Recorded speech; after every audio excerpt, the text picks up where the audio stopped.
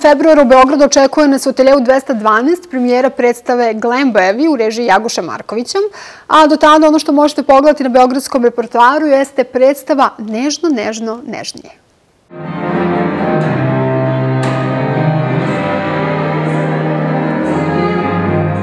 Nežno, nežno, nežnije je koncert predstava Dah teatra u saradnji sa grupom Second Handersi.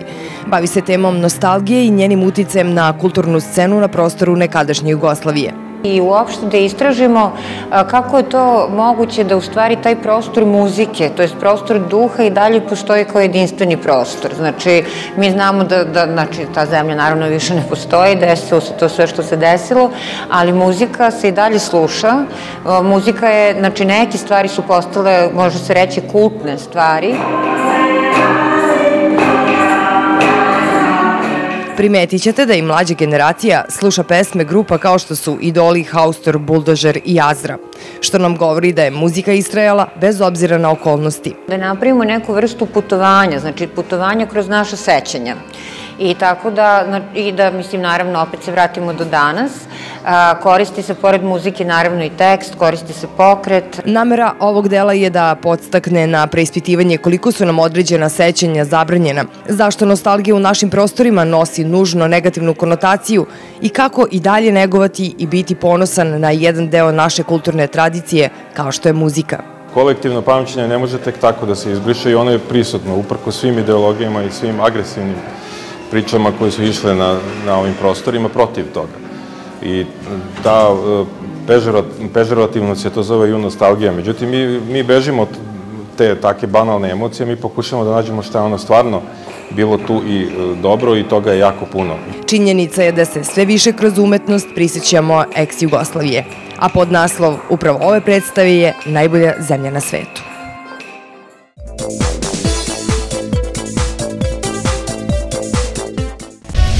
Ništa vruće, ništa zima. Naša klima štima svima. Kopernikus.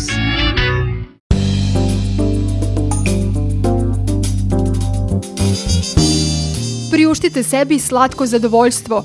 Uživajte u vrhunskom ukusu i kvalitetu Simka čokolada. Simka nudi široku paletu za vas sladokusce. Neprevaziđenu džanduju, mlečnu čokoladu, krementinu punjenu savršenim voćnim kremom – crnu i belu čokoladu sa brusnicom i celim ili seckanim lešnicima. Za decu tu je čokometar, kids fun i nezaobilazni krem. Za vas koji želite da budete fit, to je ukusna crna čokolada sa 70% kakaa. A vi, drage dame, ne zaboravite da slatke poslastice pripremate sa simka čokoladom za jelo i kuvanje. Bombonjeru with love možete poneti u goste ili pokloniti voljenoj osobi. Vaš život činimo slađim uz Simka čokoladu.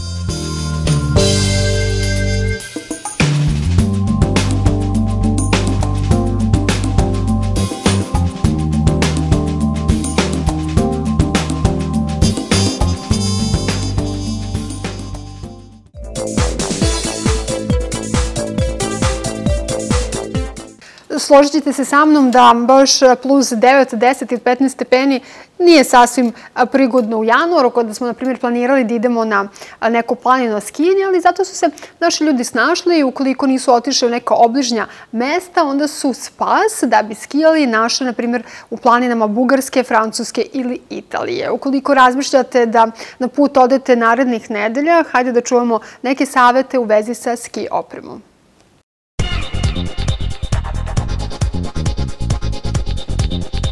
Ski sezona je uveliko počela. Ljubitelji zimskih sportova su ili već na planini ili odbrojavaju dane do odlaska. Bilo da ste početnik ili ski ekspert, evo nekoliko korisnih saveta. Krenimo od opreme. Otprilike princip vam je sledeći. Ljudi koji su jako dobri tehničari, koji su godinama na snegu, kupuju tvrde, zahtevne i skupe skije. Što, ako vam je ambicija zabava, provod na snegu, udisanje svežeg vazduha, onda idete prema mekanim, laganim skijama, s kojima se lagano manipuniše, koje se lagano voze, naravno one su i jeftinije. Izbor skije vam zavisi od tehničkog znanja, telesne težine i ambicije na stazi. Pancerice za početnike su takođe meke, udobnije, a sa rastom ski prohteva postaju grublje i manje fleksibilne. Daću vam uh, paralelu uh, luksuzna limuzina, udobna sa amortizerima i bolid Formula 1. Otprilike to tako ide. A veština određuje i cenu. Nešto da kažemo što je minimum, a pristojno je, e, za početnika skiju i vez možete jako dobre kvalitete kupiti za 20.000 dinara, cipele kreću za odrasle osnovne 11.000 dinara pa naviše, a za vrhunske skijaše praktično nema limita, cena ide do preko 1000 evra samo za skije i vezove i 500-600 samo za cipele. Malo ko sebi može priuštiti da celu opremu kupi odjednom, zato evo jednog praktičnog saveta. Kupujte kvalitetno, kupite sebi svake godine po nešto. Ono na čemu najmanje treba štediti je dobro ski odelo i kvalitetne rukavice. Ako tu kupite, pogotovo od opreme, od garderobe ili nešto što je nekvalitetno, napravi ste veliki problem. Obično ljudi kupe nešto, kupe odelo na buvljaku ili neko kinesko koje nema membranu, koja ne dozvoljava kiši da uđe, a provetra se. Svato što su uradili posle prve sezone to baca, ali im je neupotrebljivo. Oznoje se, e, toplo im je sat vremena, posle toga se smrzavaju, mokri su ispod, prokvasi i tako. Isto važi za rukavice, isto važi za specijalne čarape. Ultimativni savjet ipak bi bio dobre brile i još bolja kaciga. Lično za kacigu se kaže kaciga vam treba samo jednom i onda je dobro da imate na glavi. Sada ste spremni i bezbedni i možete uživati u svim radostima koje donosi skijanje. Znam nekako da uz jutarnju kafu najviše volimo da prelistamo dnevnu štampu i pogotovo one srednje strane da vidimo ko je sad tu s kim raskinuo, ko je ušao u koji reality show program i tako dalje, ali nažalost to baš i nije život, to je stradam, a život govori nešto sasvim drugačije i lepo je kada možemo podržati neke mlade ljude koji su izuzetno talentovani i koji najboljim svetlu predstavljaju našu zemlju kada tamo odu negde u inostranstvo i kada kažu da su iz Srbije. Stoga se zaista nadam da ste pročitali u novinama da je šestro mladih talentovani talentovanih matematičara, znači svih šestoro, upisalo prestižni univerzitet Oxford. A ovom prilikom, u ovom emisiji Biljana za vas, takođe predstavljamo jednog mladog matematičara koji je oborio svoj vrstni rekord i za 33 sekunde sklopio i rasklopio Rubikovu kocku. Kako bi upotpunio svoje slobodno vreme, kupio je Rubikovu kocku. I nije ni sanjao da će biti prvak u Srbiji i najbrži u rešavanju iste. Pa sve je počelo kada sam uh, odlazio kod uh, babe i dede u Topolu uh, i kada sam kretao kupio sam tu Rubikovu kocku i tamo sam je rešavao negde mesec dana otprilike. Kaže da je taj period rešavanja bio veoma frustrirajući, sve dok je nije rešio. Dolaskom kući želeo je da pronađe brži način da složi Rubikovu kocku. Ja sam na internetu saznao da ima čita taj svet e, brzog rešavanja, takmičenja i tehnika i svega toga. I onda sam e, na internetu naučio taj, koga zovu početnički metod za rešavanje. A, e, a posle njega, kad sam njega savladao, naučio sam taj konačni koji većina koristi za, na takmičenjima. Za prvi metod mu je trebalo mesec dana kako bi ga savladao. Za takmičenje u rešavanju Rubikove kocke saznala njegova sestra iz novina i nagovorila ga da se prijavi. Takmičalo se njih 16 oro. Tamo smo a, odlučili da merimo svako pojedinačno da ima svoje po tri puta šansu da reši i onda se računalo najbrže vreme. Njegov drugi pokušaj bio je najbrži. Moje je bilo 35 sekundi Najmlađi takmičar imao je 10, a najstariji 47 godina. Miloš je učenik trećeg razreda četvrte Beogradske gimnazije i u budućnosti želi da nastavi što bolje upoznavanje Rubikove kocke. Društvo u školi nije krilo oduševljenje zbog njegovog uspeha.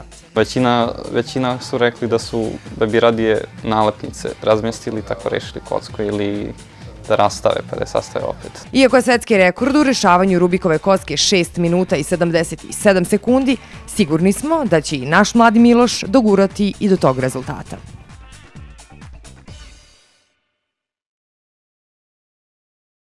Ukoliko volite ekstremne sportove, onda ćete uživati u sledećoj izložbi fotografija.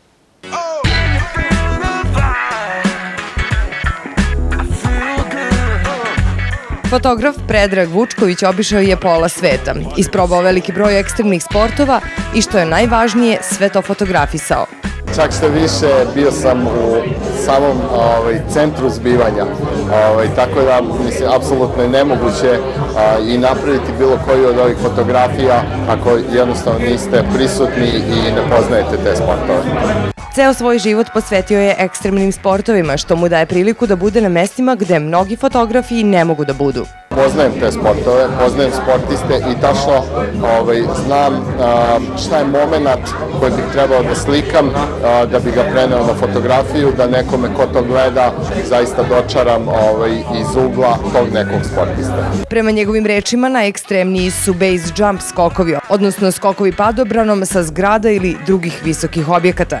Ovde je izložen samo vrlo, vrlo mali broj mojih fotografija. Mogu vam reći da u ovoj godini sam radio u 26 zemalja. Neke fotografije su iz ove godine, neke su iz prethodnih godina, ali definitivno iz celog sveta. Pored svih ekstremnih sportova, Peđa radi i podvodnu fotografiju. Na snimanju, kako kaže, dosta rizikuje sa opremom, ali uvek je spreman na taj rizik jer oprema nije primarna, već dobra fotografija. Na proleći će moje fotografije biti izložene na nekoj od, da kažem, najpoznatijih beogradskih lokacija. Rad na terenu najviše ga privlači jer je to, kako kaže, spoj sporta i zanimljivog pejzaža ili eksterijera. A svim damama koje vode računa o zdravlju i tačno bi volila da znaju šta, kada i kako da jedu i, na primjer, kada pređu neku 45-u, koje namirnice donose kako bi ublažile simptome menopauze. Danas u emisiji Biljana za vas predstavljamo knjigu Ishrana žena u 21. veku. Ako današnji lekari sutra ne postanu nutricionisti, nutricionisti će sutra postati lekari. U svojoj knjizi Ishrana žena 21. veka dr. Leila Kažinić-Kreho, članica Britanskog nutricionističkog društva, uči nas kako da hranom sprečimo najčešće ženske bolesti i tegobe, počeo od tinejdžerskih dana pa sve do menopauze. Ja sam u stvari ženu vodila kroz njena razna razdoblja. Možda ako bih knjigu podijela, ja bih rekla da ona ima svoj prvi dio i svoj drugi dio. Prvi dio je znači vodi kad je ona tinejdžer. Onda je uvodi uh, u razdoblje kada se ona priprema pred trudnoću. Onda je vodi kroz tri trimestra trudnoće. Ja sam u knjizi upravo kroz trudnoću rekla da je to razdoblje kada ona najviše mora da bira. Znači da jede što zdravije, što više ekološko i stavila sam razloge zbog čega. U našoj zemlji svaka 12. žena oboli od raka dojke, dok u Kini tek jedna od 9000. Doktor Lejla Kažinić-Kreho smatra da i uzrok tome, ali i lek treba tražiti u ishrani. A u svojoj knjizi to i objašnjava. Na primjer, te zemlje Azije, e, Japan i Kina, kod njih ne samo karcinom dojke, karcinom prostate je apsolutno nepoznat, e, dok kod nas je u zapadnim zemljama je jako jeli, raširen. Isto tako je sa, sa ovim simptomima menopauze. Na primjer, Japanke oni ne znaju što je menopauza. Jedino eventualno što mogu da osjete, to je eventualno, ne znam, neki bol u leđima, ali ove druge simptomatologije koje žene zapada osjete za njih su apsolutno nepoznate. I tu je ta razlika. Oni imaju prehranu koja je bogata upravo tim fitoestrogenima, a mi imamo više prehranu koja je bogata proteinima. Prvi deo knjige pomaže vam kako da se izborite sa najčešćim tegobama u životu žene. Drugi deo tretira one manje vidljive, ali podjednako uznemirujuće tegobe. Starenje, stres, seksualni problemi. Ja sam pokušala na neki način da kažem šta zaista ta hrana u rukama žene može pomoći i njenom seksualnom libidu, ali isto tako i seksualnoj disfunkciji koja je mnogo teži problem. Kao top seksi namirnice za ženu ona predlaže avokado, čokoladu, banane, badem, a za savršeno prirodnu anti-aging negu kože predlaže uljeno ćurka. Znači čisto jedna kapsula koju samo čisto istisnete, koju možete i popiti za unutra, a imati kao najbolju i najefikasniju anti-aging kremu samo ako znači, sadrže kapsule nanesete na svoje lice. I pokušala se me upravo da promjenom svojih prehrambenih navika i svoga životnog stila pomogne sebi na takav način. Još su i naše bake govorile da zdravlje na usta ulazi, a danas je to tačnije nego ikada.